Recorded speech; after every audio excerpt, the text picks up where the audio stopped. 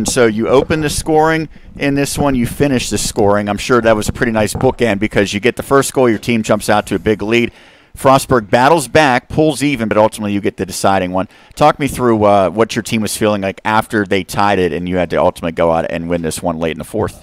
Uh, to be honest, we were uh, we were confident. We uh, we've been really focused on preparing each week for our opponent, and more so just looking in the mirror and understanding what it takes from our side to finish these games. And uh, we were just confident in ourselves, confident in our abilities, confident in our defense, our face-off unit to win uh, win that possession, and then confident in our offense to uh, ultimately finish the game there at the end. You're a senior. Just talk to the keeper who's a senior. There's a lot of guys who are in their fourth or some who are in their fifth year with this program. How much does it help maybe having the, those veterans who have been around it who know what to expect, especially when a game gets tight? Yeah, I think it's everything. Um, as you mentioned, just that experience factor uh, is is huge at this level. Um, at any level, really, just having guys that are emotional soundboards and um, players like number six Crouch and uh, Logan 26, guys that have been uh, in, in, starting roles and in big prominent roles for, for most of their four years here, five years, and guys like Estabrooks and Thomas Anulak and Dave St. Clair, um, one and the same. So I think it's uh, it's everything. You mentioned Logan Logan Gray. He's one of the best face-off guys around. He doesn't score a lot, but he get one. He got one today. Uh, how excited was everyone else when when they saw that he got the tally?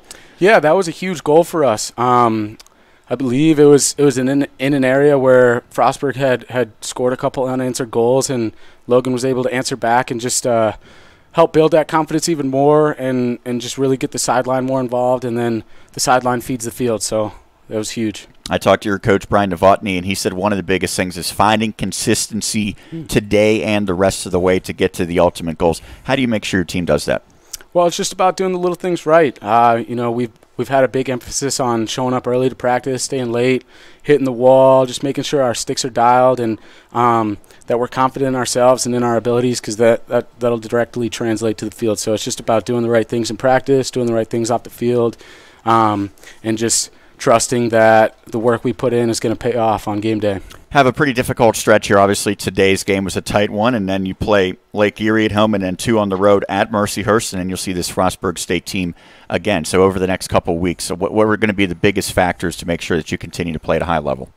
Uh, to be honest, we uh, we started great today. It's going to come down to taking care, taking care of the ball. I believe we had uh, less than 10 turnovers, and that's been a huge emphasis for us. And it was it was really great to finally see that pay off for us and, and earn a victory today, being uh, playing a fundamental sound game for most of the game. And uh, just moving forward, it's going to come down to that. Uh, just starting early and, and finishing strong through each quarter, taking possessions one by one.